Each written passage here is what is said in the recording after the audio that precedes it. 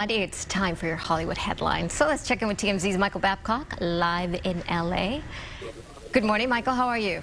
Good morning, Amanda. I'm doing well. How are you? I'm doing good. Thank you. It's good talking good. to you. Uh, so we'll start off with um, the, the, the latest on uh, Lisa Marie Presley. Uh, the, you, TMZ yeah. reporting uh, some news regarding the cause of death. Yeah, so uh, uh, Amanda, uh, obviously we know Lisa Marie Presley on Thursday went into cardiac arrest uh, in her uh, Southern California home. Uh, it was about 11:30 in the morning. So she was revived. Her ex, Danny Keough, started performing CPR, Amanda, and actually uh, with Danny's efforts, and, and finally, once the uh, paramedics arrived and um, give her uh, a shot of epinephrine, uh, they actually got a pulse. Uh, they they had her heart restarted, and they transported her to the hospital. And there was at that point there was a positive feeling that hey, this this might have a positive impact. Unfortunately, she went into cardiac arrest again at the hospital. Her family had signed a do not resuscitate order, and because of that, uh, Lisa Marie Presley, at 54 years old, passed away. Yeah, see, that's that's what I was just thinking. I mean, you're you're you're, you're telling us this news, and I'm getting chills. And I think she was 54 years old, which is right. She's which way is young. Too young.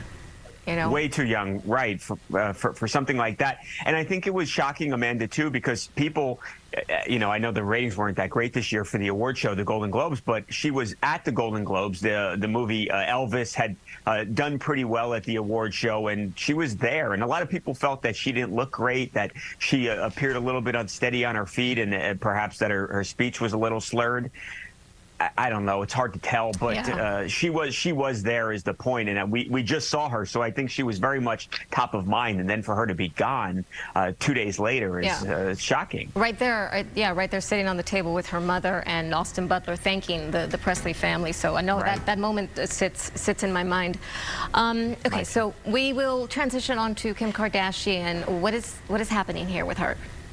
So you know, Kim Kardashian has for years now. She has uh, she has wanted to to help uh, you know uh, rectify, fix the criminal justice system as she uh, sees it uh, as broken. And she went to a, a, prison, one of the roughest prisons in all of California, really all of the country, Pelican Bay and uh, she uh, she visited with the inmates who were in solitary confinement and talked to them about uh, sort of what being alone for so many hours a day has done to them, uh, not just uh, physically but but mostly mentally. So she had this conversation. Now she wasn't alone; she was actually with Tobey Maguire and this other uh, pretty powerful executive producer from from Hollywood. Was actually the executive producer of The Hangover. But a few years ago, we made a, film on teenagers teenagers who were in prison. There were cameras here, uh, Amanda. So uh, presumably this is for some project that we are, uh, you know, in the future we'll learn about.